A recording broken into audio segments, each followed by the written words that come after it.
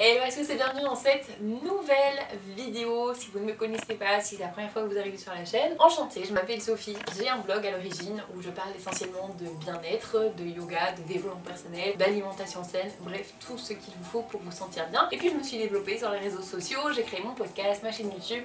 Je vous mets tout ça ici, à gauche à droite, pour que vous puissiez aller me suivre et me soutenir. Ça me fait extrêmement plaisir. Bref, le sujet du jour, je vous en ai parlé à de nombreuses reprises, c'est que boire de l'eau, c'est très important assez banal, mais j'ai surtout envie de vous donner 10 astuces aujourd'hui pour vous rappeler de boire de l'eau parce que oui, beaucoup de gens savent que c'est important et pour autant, beaucoup de gens oublient de boire de l'eau. Donc c'est parti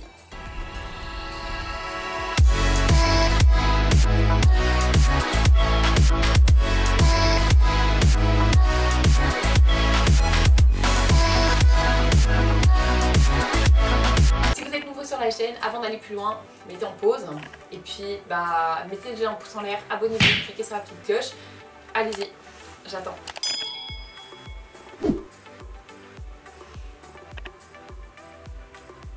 C'est bon? Ok, cool.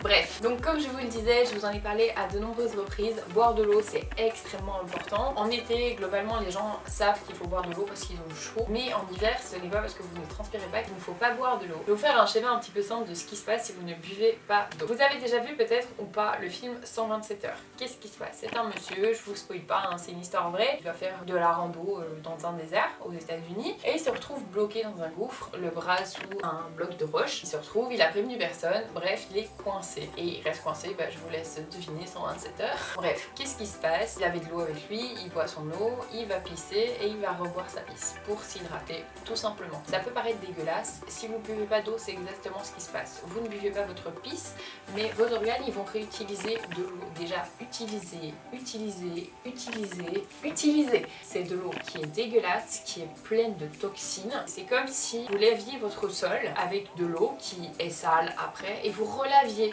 votre sol avec cette eau-là. Vous vous doutez que votre sol il va être dégueulasse. C'est exactement pareil. C'est pour ça que vous avez besoin d'eau. Votre corps a besoin d'un certain quota d'eau pour faire fonctionner vos organes. Et si vous ne lui apportez pas de la nouvelle eau, eh ben, il va réutiliser cette eau à ne plus en finir. Et votre eau est dégueulasse. Vos organes vont fonctionner avec de l'eau qui est dégueulasse.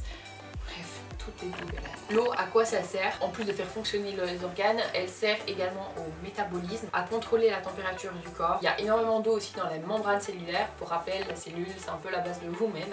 Si vous avez une mauvaise membrane cellulaire, vous pouvez considérer que vous avez un mauvais goût. C'est un peu pareil. Elle aide à la lubrification des articulations, elle aide à transporter l'oxygène dans le corps, elle aide à la digestion. Bref, vous l'avez compris, l'eau est extrêmement essentielle pour notre corps. Alors tout d'abord, quand s'hydrater? Pour ce qui est de boire au repas, euh, globalement ça va. C'est pas ouf, mais ça va. Les gens boivent au repas. Ce qui pose problème souvent, c'est l'hydratation entre les repas. Vous avez un problème avec de l'eau, vous pouvez boire de l'eau gazeuse.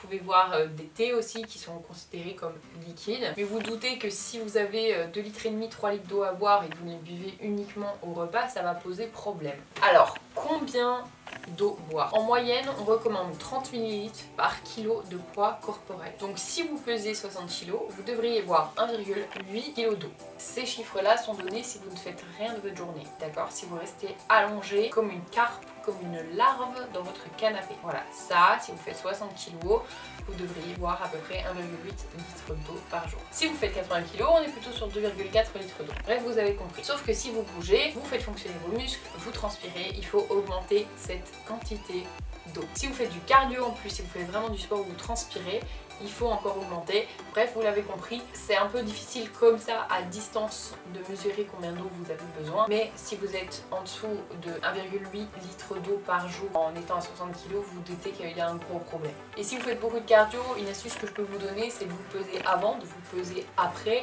Et le poids que vous avez perdu, sachez que c'est du poids d'eau uniquement. Donc comme ça, ça va vous expliquer aussi un petit peu l'eau que vous avez perdue et que vous allez devoir reboire en plus de vos 1,8 litres d'eau si vous faites 60 kg. Alors du coup, c'est très bien, Sophie, ne pas oublier de boire de l'eau, mais comment je m'en rappelle J'ai 12 astuces qui marchent plutôt bien. Savoir qu'à la base, j'étais quelqu'un, donc à la base, ça remonte un peu, ça remonte à mon adolescence quand même, mais je ne buvais pas beaucoup d'eau. Et puis, euh, je m'y suis mise, et après, bah, quand vous y êtes mis, c'est un peu compliqué de ne plus boire d'eau.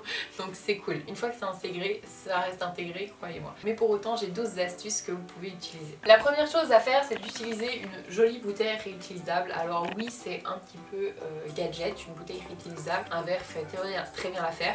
L'avantage d'une bouteille, c'est que c'est pratique. Vous savez mesurer combien vous buvez et vous pouvez la transporter partout avec vous. Parce que lorsque chez vous, vous buvez avec un verre et puis vous chaud chez des gens, vous oubliez, vous allez au cinéma, vous oubliez, vous allez, si ça vous oubliez, bref vous l'avez compris, vous avez votre bouteille tout le temps avec vous, vous savez mesurer votre bouteille, en général dans un chiffre bien précis, hein, une contenance bien précise, vous savez mesurer combien d'eau vous buvez par jour. Et puis en plus de ça, c'est très écologique et euh, c'est beaucoup mieux pour la planète. Deuxième chose, mettre des alarmes sur votre téléphone. Vous pouvez simplement mettre le réveil, des heures creuses comme 10h, 16h, etc. pour vous assurer entre les repas de bien boire de l'eau. Ou sinon, vous pouvez mettre simplement des alarmes plutôt pour vérifier euh, que vous avez bien votre quota si vous vous dites bah, le matin euh, je dois boire un litre et demi, l'après-midi je dois boire un litre et demi. Euh, vous mettez un rappel à 11h, un peu avant la fin de la matinée pour vous assurer que vous avez bien bu votre quota. Troisième astuce, et ça c'est quelque chose que je faisais quand j'étais commerciale, donc j'étais en voiture toute la journée. Une bouteille d'un litre ça ne me suffisait pas, du coup bah, je suis allée acheter une bouteille de 3 litres,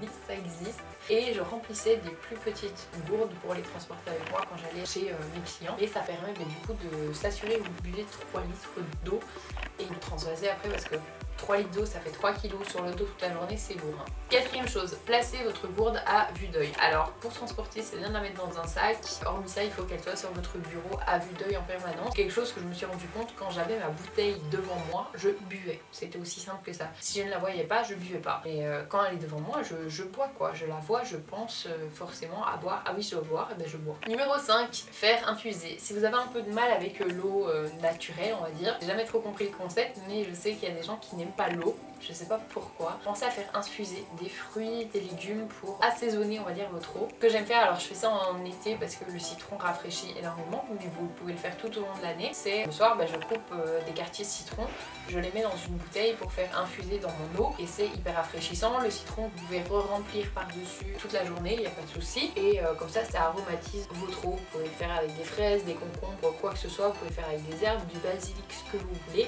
Mais ça marche plutôt bien si vous avez un problème avec l'eau de base. Numéro 6, c'est un peu pareil que les en fusion, mais pensez à faire du thé. Le thé est très aqueux. Vous pouvez faire du thé, chaud, froid, peu importe, ça sera considéré comme de l'eau dans votre quota eau Numéro 7, planifier la veille. Pourquoi je vous dis ça? C'est que bah, s'il fait chaud plus particulièrement, vous allez avoir envie d'avoir une grande bouteille d'eau euh, bien fraîche pour emporter avec vous toute la journée. Il faudra du coup bah, penser la veille à la mettre au frigo. Pareil, si vous faites infuser des fruits, pensez à le faire la veille pour avoir bien le temps de transmettre l'odeur. Bref, il faut un minimum d'organisation mais ça prend deux secondes et ça s'insère très rapidement de votre routine, croyez-moi. Numéro 8, utilisez une paille réutilisable et toujours écologique en parlant, je vous parle de paille réutilisable bien sûr. Ça fait toujours un peu plus festif une paille je trouve et euh, ça aide à boire. Vous n'avez pas besoin de tenir le verre, vous mettez votre paille et ça passe tout seul. Ça vous permettra également de boire beaucoup plus régulièrement. Neuvième astuce, utilisez une application. Alors il y a pas mal d'applications sur Android ou iOS, je vous mettrai des liens en barre d'infos si ça vous intéresse, pour surveiller justement votre consommation d'eau. Vous pouvez également mettre une alarme pour vous rappeler de boire euh, de l'eau, donc c'est plutôt pas mal si vous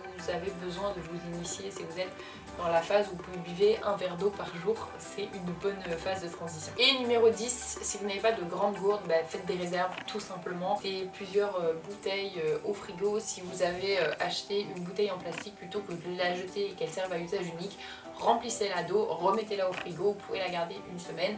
Après, le plastique commence à se détériorer, ça c'est tout un autre débat. Ça peut vous servir pendant une semaine pour garder l'eau. Voilà, j'espère que ces astuces vous auront aidé. Dites-moi si vous faites plutôt partie de team euh, je bois de l'eau ou team je bois pas de l'eau. Bref, dites-moi tout ça. J'espère que ça vous aura aidé encore une fois. J'espère que ça vous permettra de boire beaucoup plus d'eau.